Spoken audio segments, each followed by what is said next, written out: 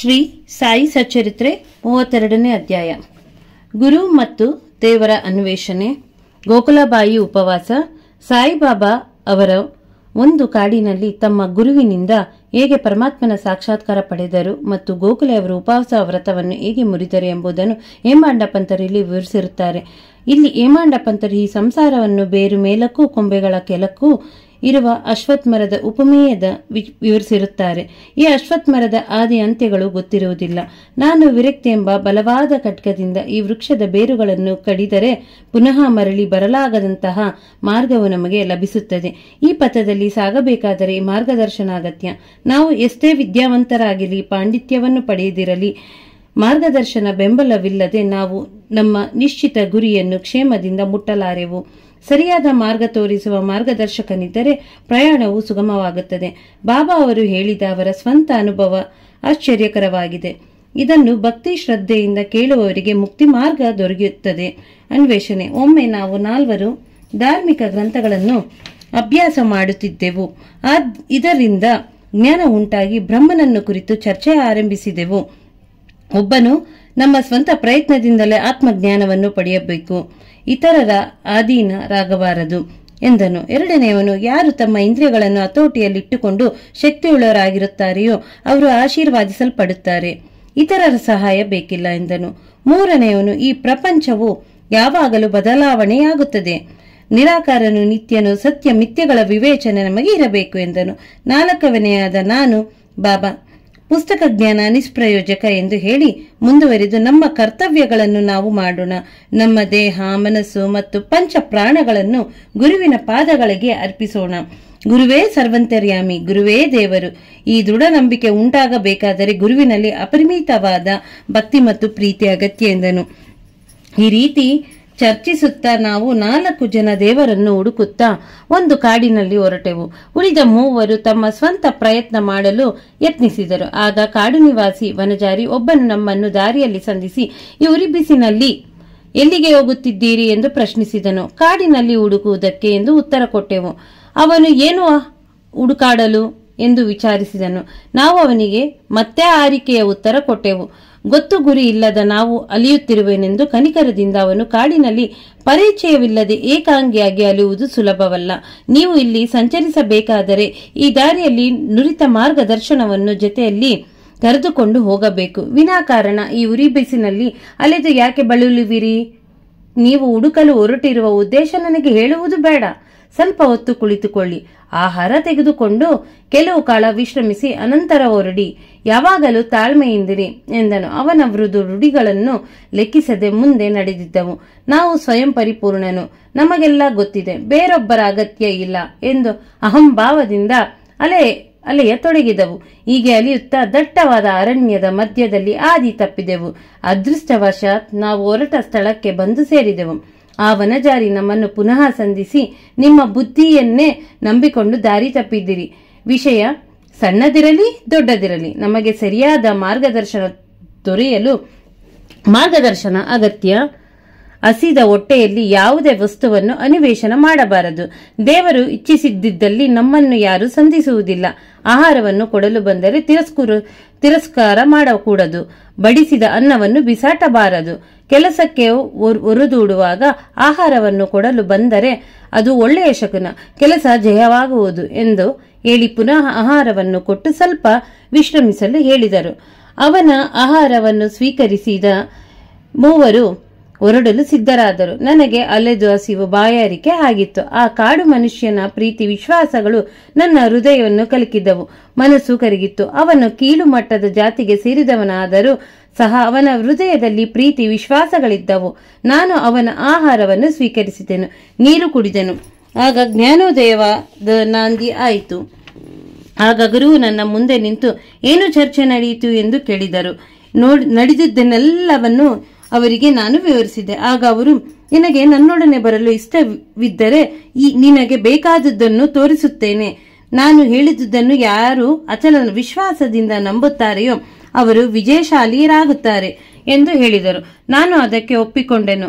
ಅವರು ನನ್ನನ್ನು ಒಂದು ಬಾವಿಯ ಹತ್ತಿರ ಕರೆದುಕೊಂಡು ಹೋಗಿ ನನ್ನ ಕಾಲುಗಳಿಗೆ ಹಗ್ಗ ಕಟ್ಟಿ ಹತ್ತಿರ ಮರದ, ಇದ್ದ ಮರದಿಂದ ತಲೆ ಕೆಳಗೆ ಮಾಡಿ ತೂಗು ಹಾಕಿದರು. ನಾನು ನೀರಿನಿಂದ ಸ್ವಲ್ಪ ಮೇಲಕ್ಕೆ ಎಕ್ಕಿದ್ದೆ. ಕೈಗೆ ನೀರು ಸಿಗುವಂತಿರಲಿಲ್ಲ. ಈ ರೀತಿ ನನ್ನನ್ನು ತೂಗಿ ಹಾಕಿ ಎಲ್ಲಿಯೋ ಹೊರಟು ಹೋದರು. ಮುಂದೆ ನಾಲ್ಕೈದು ಗಂಟೆಗಳ ನಂತರ ಬಂದು ಮೇಲಕ್ಕೆತ್ತಿ ಹಗ್ಗವನ್ನು ಬಿಚ್ಚಿ ಚೆನ್ನಾಗಿದೆಯಾ ಎಂದು ಕೇಳಿದರು. ಅಮಿತಾನಂದಲ್ಲದಿಲ್ದೇನೆ ಅದನ್ನು ನನ್ನಂತ ಪಾಮರನ್ನು ಹೇಗೆ ವಿವರಿಸಲು ಸಾಧ್ಯ? ಎಂದು ಕೇಳಿದನು. ಇದನ್ನು ಕೇಳಿದ ಗುರುವು ಸಂತೋಷದಿಂದ ನನ್ನನ್ನು ಸಮೀಪಕ್ಕೆ ಬರಿ ಮಾಡಿಕೊಂಡು ತಲೆ ಸವರಿ ಅಪ್ಪಿಕೊಂಡರು. ಅಕ್ಕಿ ತನ್ನ ಮರಿಯನ್ನು ನೋಡುವಂತೆ ನನ್ನನ್ನು ನೋಡಿದರು. ತಮ್ಮ ಗುರುಕುಲಕ್ಕೆ ಸೇರಿಸಿಕೊಂಡರು. ಗುರುಕುಲ ಎಷ್ಟು ರಮ್ಯವಾಗಿತ್ತು. ಅಲ್ಲಿರುವಾಗ ನಾನು ನನ್ನ ಮಾತಾಪಿತರರನ್ನೇ ಮರೆತನು. ಮೋಹ ಮನೆತಗಳು ಮಮತೆಗಳು ದೂರವಾದವು. ಮುಕ್ತನಾದೆನು. ಯಾವಾಗಲೂ ಅವರೊಡನೆ ಇದ್ದು ಗುರುವಿನ ಅನನ್ಯ ಅವಧಾನಗಳನ್ನು ಆಚರಿಸತೊಡಗಿದೆ. ನನ್ನ ಗುರುವೇ ನನಗೆ ತಾಯಿ, ತಂದೆ ಮತ್ತು ಬಳಗ. ಸರ್ವಸ್ವವು ಅವರೇ. ಸಮಸ್ತ ಇಂದ್ರಿಯಗಳು ತಮ್ಮ ಸ್ಥಳವನ್ನು ಬಿಟ್ಟು ನನ್ನ ನೇತ್ರಗಳಲ್ಲಿ ಬಂದುಗೂಡಿ ನನ್ನ ದೃಷ್ಟಿಯ ಗುರುವಿನಲ್ಲಿ ನೆಲೆಗೊಳ್ಳುವಂತೆ ಆಯಿತು. ಆ ರೀತಿ ಗುರುವೇ ನನ್ನ ಧ್ಯಾನದ ವಸ್ತುವಾದರು. ಬೇರೆ ತರದ ಅನೇಕ ಶಾಲೆಗಳಿವೆ. ಶಿಷ್ಯರಿಗೆ ಶಿಷ್ಯರು ಅಲ್ಲಿಗೆ ಜ್ಞಾನ ಸಂಪಾದನೆಗೋಸ್ಕರ ಹೋಗಿ ಹಣವನ್ನು ವೆಚ್ಚ ಮಾಡಿ ಕೊನೆಗೆ ನಿರಾಶರಾಗುತ್ತಾರೆ. ಅಲ್ಲಿ ಗುರುವು ತನ್ನ ಜ್ಞಾನವನ್ನು ಪ್ರಶಂಸೆ ಮಾಡಿಕೊಳ್ಳುತ್ತಾನೆ. ತಮ್ಮ ಘನತೆಯನ್ನು ತಾವೇ ಹೋಳಿಕೊಳ್ಳುತ್ತಾರೆ ಎಲ್ಲವೂ ತೋರಿಕೆ ಮಾತ್ರ. ಅವನ ಹೃದಯವು ಮಾತ್ರ ಮೃದುವಾಗಿರುವುದಿಲ್ಲ. ಶಿಷ್ಯರ ಮುಂದೆ ಆತ್ಮ ಪ್ರಶಂಸೆ ಮಾಡಿಕೊಂಡು ಅವರು ಹೃದಯನ್ನ ಆಕರ್ಷಿಸಲು ಪ್ರಯತ್ನ ಪಡುತ್ತಾನೆ ಆದರೆ ಅದು ಶಿಷ್ಯರಿಗೆ ಉಪಯೋಗವಿಲ್ಲ. ಆತ್ಮಜ್ಞಾನದ ದೃಷ್ಟಿಯಿಂದ ಅವನಲ್ಲಿ ಯಾವ ಸತ್ವವೂ ಇರುವುದಿಲ್ಲ. ಇಂತಹ ಶಾಲೆಗಳಿಂದ ಶಿಷ್ಯರಿಗೆ ಆಗುವ ಪ್ರಯೋಜನವಾದರೂ ಏನು? ಆದರೆ ಈ ಹಿಂದೆ ಗುರುವಿನಲ್ಲಿ ವಿಷಯವೇ ಬೇರೆ. ಅವರು ಅದ್ವಿತೀಯ ಗುಣವಾದ ವ್ಯಕ್ತಿಯು ಅವರ ದಯೆಯಿಂದ ಜ್ಞಾನವು ತನಗೆ ತಾನಾಗಿಯೇ ಲಭಿಸುತ್ತದೆ. ಈ ನಾಲ್ಕು ಜನಗಳಲ್ಲಿ ಒಬ್ಬ ಕೆಲವು ಧಾರ್ಮಿಕ ವಿಧಿಗಳನ್ನು ಹೇಗೆ ಆಚರಿಸಬೇಕೆಂದು ಅರಿತವನಿದ್ದ. ಇನ್ನೊಬ್ಬನು ಜ್ಞಾನವನ್ನು ಪಡೆದಿರುವನೆಂಬ ಅಹಂಭಾವ ಇದ್ದವನಿದ್ದ. ಮೂರನೆಯವನು ಪರಮಾತ್ಮನ ಸರ್ವ ಕ್ರಿಯಾತ್ಮಕನು ಎಂದು ನಂಬಿದ್ದ. ಅವರು ಚರ್ಚೆ ಮಾಡುತ್ತಿದ್ದಾಗ ಪರಮಾತ್ಮನ ಪ್ರಶ್ನೆ ಉದ್ಭವಿಸಿ ಅವರು ದೇವರ ಅನ್ವೇಷೆಗೆ ತೊಡಗಿದರು. ವೇಕಶಾಲಿಯು ವಿಚಾರಪರರು ಆದ ಅವತಾರ ರೂಪಿ ಸಾಯಿಬಾಬಾ ನಾಲ್ಕನೆಯವರು. ಅವರೇ ಸ್ವತಃ ಬ್ರಹ್ಮನ ಅವತಾರ ರೂಪಿಯಾಗಿದ್ದರು. ಇತರರನ್ನೇ ಸೇರಿ ಹಾಗೆ ಏಕೆ ವರ್ತಿಸಿದ್ದರೆಂಬುದು ಕೆಲವರು ಕೇಳಬಹುದು. ಅದಕ್ಕೆ ಬಾಬಾ ಅವರು ಜನಸಾಮಾನ್ಯರ ಕಲ್ಯಾಣಕ್ಕಾಗಿ ಮತ್ತು ಅವರಿಗೆ ಪಾಠ ಕಲಿಸುವುದಕ್ಕಾಗಿ ಈ ರೀತಿ ಮಾಡಲಿದ್ದರೆಂದು ಹೇಳಬಹುದು. ಅವರ ಅವಕಾಶ ರೂಪಿಯಾಗಿ ಕಳ, ಕೆಳಮಟ್ಟದ ವನಜಾರಿಯು ಅದರಾದಿತ್ಯವನ್ನು ಸ್ವೀಕರಿಸಿ ಆಹಾರವನ್ನು ಬ್ರಹ್ಮನೆಂದು ಬಗೆದು ಊಟ ಮಾಡಿದರು. ಆ ವನಜಾರಿಯು ಅದರಾತಿಥ್ಯವನ್ನು ಸ್ವೀಕರಿಸದೆ ಹೋದ ಮೂವರು ಹೇಗೆ ಕಷ್ಟಪಟ್ಟರು ಎಂಬುದನ್ನು ತಿಳಿಯಪಡಿಸಿದರು. ಗುರುವಿನ ಸಹಾಯವಿಲ್ಲದೆ ಜ್ಞಾನಾರ್ಚನೆ ಮಾಡಲು ಅಸಾಧ್ಯವೆಂದು ಕಾರ್ಯರೂಪದಲ್ಲಿ ತೋರಿಸಿದ್ದಾರೆ. ತಾಯಿ, ತಂದೆ ಮತ್ತು ಪರಮಾತ್ಮನನ್ನು ಪೂಜಿಸಿ ಗೌರವಿಸಬೇಕೆಂದು ಧಾರ್ಮಿಕ ಗ್ರಂಥಗಳಲ್ಲಿ ಪಠಣ ಮಾಡಬೇಕೆಂದು ಶ್ರುತಿಯಲ್ಲಿ ಹೇಳಿದೆ. ಮನಃಶುದ್ಧಿಯನ್ನು ಹೊಂದಿದರೆ ಮಾತ್ರ ಆತ್ಮಜ್ಞಾನವು ದೊರಕುತ್ತದೆ. ಇಂದ್ರಿಯಗಳಾಗಲಿ, ಮನಸ್ಸಿಗಾಗಲಿ, ಬುದ್ಧಿಯಾಗಲಿ ಆತ್ಮವನ್ನು ಸಂಧಿಸಲಾರವು. ಅದಕ್ಕೆ ಗುರುವಿನ ದಯೆ ಅತ್ಯಗತ್ಯ. ವಿಷಯದ ವಸ್ತುಗಳಾದ ಧರ್ಮ, ಅರ್ಥ, ಕಾಮ ಇವುಗಳು ಇವುಗಳನ್ನು ನಾನು ನಮ್ಮ ಸ್ವಪ್ರಯತ್ನದಿಂದ ಹೊಂದಬಹುದು. ಆದರೆ ಮೋಕ್ಷವನ್ನು ಪಡೆಯಲು ಗುರುವಿನ ಸಹಾಯ ಅಗ, ಅತ್ಯಗತ್ಯ. ಬಾಬಾ ಅವರ ದರ್ಬಾರಿನಲ್ಲಿ ಅನೇಕರು ಬಂದು ತಮ್ಮ ಪಾತ್ರವನ್ನು ವಹಿಸಿದ್ದರು. ಜ್ಯೋತಿಷ್ಯಗಳು ಬಂದು ಭವಿಷ್ಯ ನುಡಿಯುತ್ತಿದ್ದರು. ಅಧಿಕಾರಿಗಳು, ಕುಲೀನರು ಸಾಮಾನ್ಯರು, ಸನ್ಯಾಸಿಗಳು, ಯೋಗಿಗಳು, ಬಡವರು, ಸಂಗೀತಗಾರರು, ಬಾಬಾ ಅವರ ದರ್ಶನಕ್ಕಾಗಿ ಬರುತ್ತಿದ್ದರು. ಅಲ್ಲದೆ ಕುರುಡರು, ಕುಂಟರು, ನಾಟಕದವರು ಕೂಡ ಬಂದು ಬಾಬಾ ಅವರ ಅನುಗ್ರಹ ಪಡೆದು ಕೃತಾರ್ಥರಾಗುತ್ತಿದ್ದರು. ಗೋಖಲೆ ಅವರ ಉಪವಾಸ.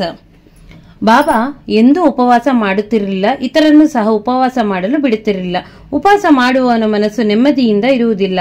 ಆದ್ದರಿಂದ ಅವನು ಪರಮಾತ್ಮಿಕ ಜ್ಞಾನವನ್ನು ಪಡೆಯುವುದು ಹೇಗ ತಾನೇ ಸಾಧ್ಯ. ಬರಿಯ ಹೊಟ್ಟೆಯದಲ್ಲಿದ್ದರೆ ಪರಮಾತ್ಮನ ಸಾಕ್ಷಾತ್ಕಾರವಾಗಲಾರದು.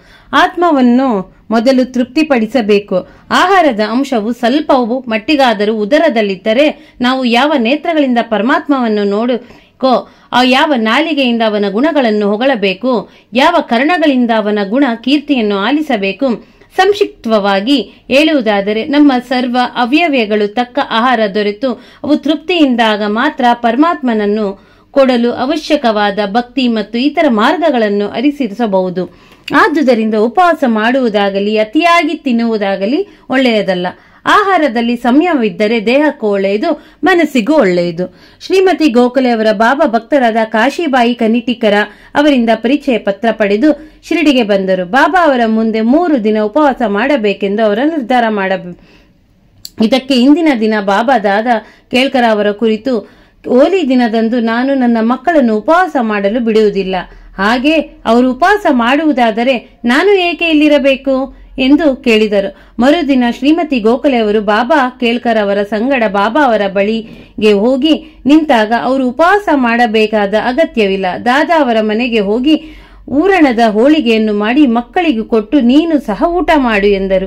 ಹುಣ್ಣಿಮೆ ದಿನ ಆಗಲೇ ಪ್ರಾರಂಭವಾಗಿದ್ದವು. ದಾದಾ ಅವರ ಪತ್ನಿಯ ಸ್ಪರ್ಶವಾಗಿ ಮನೆಗೆ ಅಡಿಗೆ ಮಾಡಲು ಯಾರೂ ಇರಲಿಲ್ಲ. ಬಾಬಾ ಅವರು ಮಡಿ ಸಮಯೋಚಿತವಾದಿತ್ತು ಶ್ರೀಮತಿ ಗೋಖಲೆ ಅವರು ಅವರಿ ಮನೆಗೆ ಹೋಗಿ ಅಡಿಗೆ ತಯಾರಿಸಿ ಎಲ್ಲರೊಡನೆ ತಾವು ಊಟ ಮಾಡಿದರು. ಬಾಬಾ ತಮ್ಮ ಬಾಲ್ಯ ಜೀವನದ ಬಗ್ಗೆ ಈ ರೀತಿ ಹೇಳಿರುತ್ತಾರೆ. ನಾನಿನ್ನೂ ಚಿಕ್ಕವನಾಗಿದ್ದೆ. ಉದರ ನಿರ್ವಹಣೆಗೆ ಕೆಲಸ ಹುಡುಕುತ್ತಾ ಬೀಡಾಂಗಾವಕ್ಕೆ ಹೋದೆ. ಅಲ್ಲಿ ನನಗೊಂದು ಕೆಲಸ ದೊರಕಿತ್ತು. ಬಹಳ ಕಷ್ಟಪಟ್ಟು ಕೆಲಸ ಮಾಡಿದ್ದೆ ಮಾಲಕ ನನ್ನ ಕೆಲಸವನ್ನು ಮೆಚ್ಚಿದನು. ನನ್ನೊಡನೆ ಇನ್ನು ಮೂವರು ಕೆಲಸ ಮಾಡುತ್ತಿದ್ದರು. ಒಬ್ಬನಿಗೆ ಐವತ್ತು ರೂಗಳು, ಇನ್ನೊಬ್ಬನಿಗೆ ನೂರು ರೂಗಳು, ಮೂರನೆಯವನಿಗೆ ನೂರ ಐವತ್ತು ರೂಗಳು ಸಂಬಳ ಕೊಡುತ್ತಿದ್ದನು. ನನಗೆ ಇದೆಲ್ಲದರ ಎರಡಷ್ಟು ಕೊಟ್ಟು ಕೊಟ್ಟರು. ನನ್ನ ಬುದ್ಧಿವಂತಿಕೆ ಮತ್ತು ದಕ್ಷತೆಯನ್ನು ನೋಡಿ ಮಾಲಕ ಪ್ರೀತಿಯಿಂದ ನನಗೆ ಬಟ್ಟೆ, ಪೇಟ, ಒಂದು ಶಲ್ಯ ಇವುಗಳನ್ನು ಬಹುಮಾನ ಆಗಿ ಕೊಟ್ಟರು. ಆದರೆ ನಾನು ಅವುಗಳನ್ನು ಉಪಯೋಗಿಸದೆ ಹಾಗೆಯೇ ಇಟ್ಟನು. ಮಾನವರು ಕೊಡುವುದು ಬಹುಕಾಲ ಉಳಿಯಲಾರದು, ಆದರೆ ನನ್ನ ಸಹಕಾರ ದೇವರು ಕೊಡುವುದು ಮಾತ್ರ ಕೊನೆಯ ತನಕ ಉಳಿಯುತ್ತದೆ. ಮತ್ತು ಪರಿಪೂರ್ಣವಾದಿರುತ್ತ, ಇರುತ್ತದೆ. ಮಾನವನು ಕೊಡುವ ಯಾವ ಬಹುಮಾನನು ದೇವರು ದಯಪಾಲಿಸುವ ಬಹುಮಾನಕ್ಕೆ ಸರಿಯಾಗಲಾರದು. ನನ್ನ ದೇವರು ತೆಗೆದುಕೋ, ತೆಗೆತೋ ಎಂದು ಎಷ್ಟು ಹೇಳಿದರೂ ನನ್ನ ಹೇಳಿಕೆಯಲ್ಲಿ ಯಾರೂ ಗಮನಿಸುವುದಿಲ್ಲ. ನನ್ನ ಭಂಡಾರ ಧಾರ್ಮಿಕ ಸಂಪತ್ತು ಅದು ಯಾವಾಗಲೂ ತುಂಬಿರುತ್ತದೆ. ಅದನ್ನು ಅಗೆದು ಗಾಡಿಯಲ್ಲಿ ತುಂಬಿಕೊಂಡು ಹೋಗಿ ಎಂದು ಹೇಳುತ್ತೇನೆ. ಪುಣ್ಯವಂತ ಮಾತೆಯು ಪುತ್ರನು ಮಾತ್ರ ಈ ಐಶ್ವರ್ಯವನ್ನು ಪಡೆಯಲು ಸಾಧ್ಯ. ನನ್ನ ಫಕೀರನ ನುಡಿಗಳೇ ಭಗವಂತನ ಲೀಲೆಗಳು. ನನ್ನ ದೇವರು ವಿಶಿಷ್ಟನಾದವನು. ನನ್ನ ವಿಚಾರವೇನು? ಮಣ್ಣಿನಿಂದ ಹುಟ್ಟಿದ ಈ ದೇಹ ಬಂದ್ ಒಂದು ದಿನ ಮಣ್ಣಿನೊಡನೆ ಸೇರುತ್ತದೆ. ಉಸಿರು ವಾಯುವಿನೊಡನೆ ಐಕ್ಯವಾಗುತ್ತದೆ. ಈ ಸಮಯ ಪುನಃ ಬರಲಾರದು. ನಾನೆಲ್ಲಿಯೋ ಹೋಗುತ್ತೇನೆ, ಎಲ್ಲಿಯೋ ಕುಳಿತುಕೊಳ್ಳುತ್ತೇನೆ. ಆದರೆ ಮಾಯೆಯು ನನ್ನನ್ನು ಬಿಡುವುದಿಲ್ಲ. ನನ್ನ ಭಕ್ತರ ಬಗ್ಗೆ ನನಗೆ ಚಿಂತೆ ಇರುತ್ತದೆ. ನನ್ನ ವಚನಗಳು ಸ್ಮರಿಸುವವರಿಗೆ ಅಮೋಘವಾದ ಆನಂದ ದೊರೆಯುತ್ತದೆ. ಶ್ರೀ ಸಾಯಿ ಪ್ರಣಾಮ. ಶ್ರೀ ಸಾಯಿ ಸಚ್ಚರಿತೆ, ಮೂವತ್ತೆರಡನೇ ಅಧ್ಯಾಯ ಮುಕ್ತಾಯವಾಯಿತು.